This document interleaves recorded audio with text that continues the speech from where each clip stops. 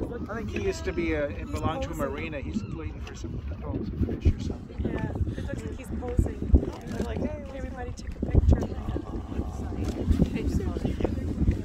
Yeah.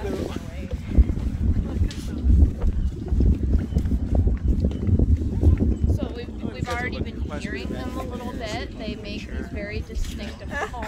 Yeah. The barking call, which Yeah. is actually unique to California sea lions. The Steller sea lions in the region don't sound like that. So next time there's a movie uh, and there's any kind of seal or sea lion on screen, I guarantee you they're gonna make the barking call, and it's not right unless it's a California sea lion.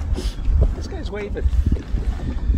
So you can really see how their flippers are, which is actually something that differentiates them from their close relatives, the seals. So again, seal, sea lion, I think those two terms get kind of mixed up in, in common language and um, sometimes I think maybe people think they're the same thing, but seals and sea lions are actually quite different. They belong to the same order of animals, which we call pinnipeds or flipper-footed, but their physical appearance differs in a few ways, and one of the main ones is the size and shape and flexibility of their flippers. So these sea lions are